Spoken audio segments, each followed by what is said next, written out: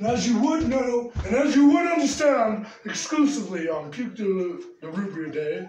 And uh, uh, without further ado, for the more, for the most, and without accordance to the discussionary of what has become this wonderful world of us surrounding us as we are one with all people, as our nation shall survive.